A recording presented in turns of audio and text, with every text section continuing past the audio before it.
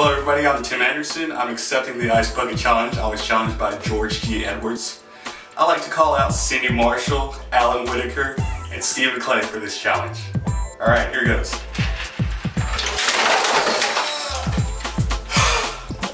Oh, God. That's cold. That's cold.